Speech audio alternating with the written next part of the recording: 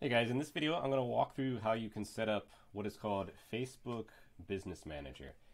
Now Facebook Business Manager is important for you to set up to be able to run ads if you're going to be running ads on behalf of someone else.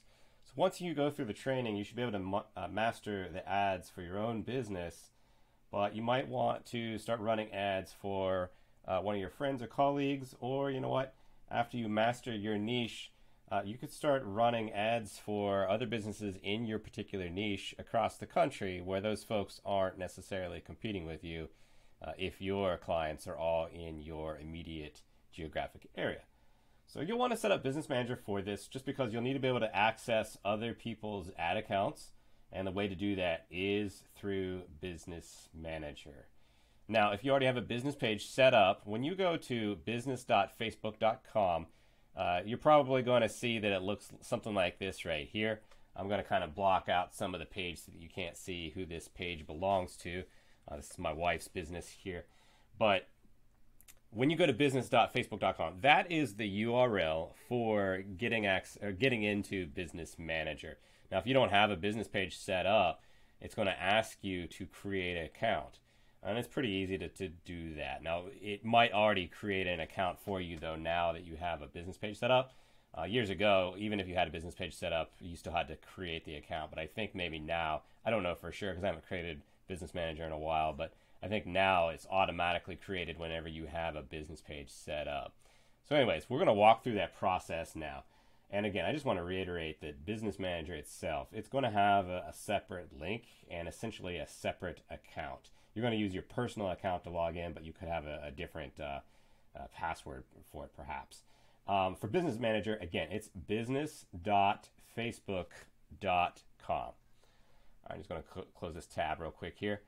Okay, so in business.facebook.com here, you're going to see a, a button up here that says create an account if you don't already have one. You're going to go ahead and click through create an account, and then you're going to give your business and account a name. So in this case, uh, like if you're going to be running your own business and running your own ads, you might want to just call it that. So like if you're, uh, you know, like Framingham window cleaning services or something like that, you could just call it that. Um, but if you have plans of running ads for someone in the future, you might want to come up with a different business name, and that would be kind of like your own marketing uh, business name. So in this case, let's just go ahead and put in Framingham window cleaning.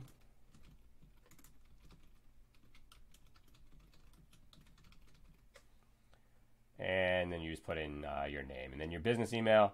Uh, we'll just put in, and again, this does not have to be the same email um, that you're using for your uh, personal Facebook profiles login. So let's go ahead and put this in here.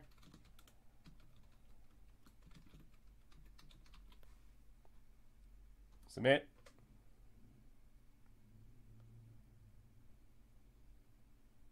Okay, so that was uh, submitted through. We've got a confirmation email address that we've got to go through and verify. So let's go ahead and do that real quick.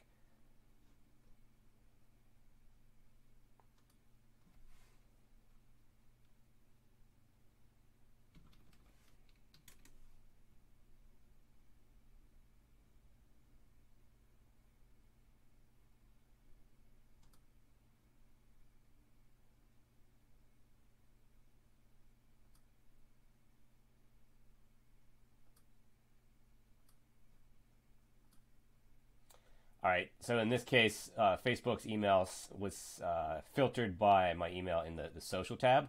So if you're using Gmail, you'll need to look for that as well. It might not go in an inbox. Gmail's smart enough to see it looks like it's coming from a social media network. So you might have to go there and find it. And then also, this is an important note to keep in mind later on whenever you're requesting access uh, from someone else's business account to try to get access to their ad account to run ads for them uh, any of those notifications might be filtered by Google into a social folder. Uh, so you just have to hunt for that. Okay, let's go ahead and click on confirm now. This is going to redirect us back to Business Manager. Okay, so here is Facebook Business Manager. I'm going to go ahead and close Gmail now. We don't need that. I'll go ahead and close this tab over here too. Okay, so here's Business Manager. This is what it's going to look like. Um, up at the top up here, you're going to have these uh, these little dots up here. This is business tools. If you click through that, that's going to expand out. Uh, it should give you more options in here. This is going to take you to Ads Manager, We talked about Ads Manager briefly in a different video, and we were talking about uh, Facebook Ads Center when you're looking at a uh, Facebook business page. Uh, like if you were back in regular facebook.com and, and taking a look at the, the business page there. Let's just do that real quick.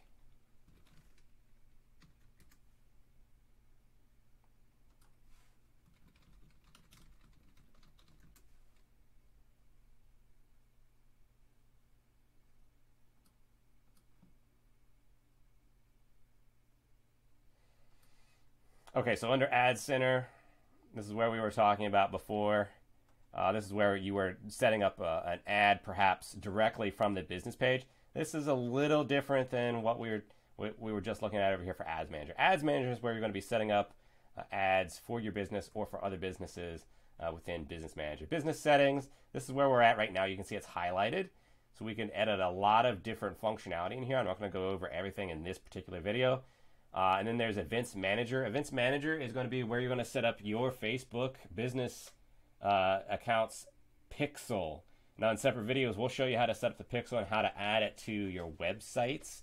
And essentially, what a pixel is going to do is it's going to uh, fire off data that goes back to Facebook whenever someone lands on your page and they take a particular action. Maybe they've submitted a form, maybe they've pushed a uh, submitted a button or, or something like that.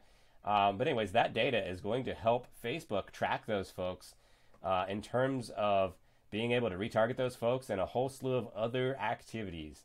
So we'll dive into how Facebook Pixel works in other videos. Uh, I'm not really going to dive into e-commerce manager. Uh, that would be more or less if you're a, an e-commerce uh, business. Uh, ads reporting, this is where you're going to go in and see how your ads are uh, performing um, that'll become uh, beneficial for you if you are running ads for someone else later in the future. That way, you can go in there and see how the ads are reporting and, and performing and uh, generate some sort of a report on your own for your clients to be able to see. And then Catalog Manager, this is where you can upload assets into Facebook, whether that's videos, pictures, and so forth, uh, that you can use for your ad campaigns.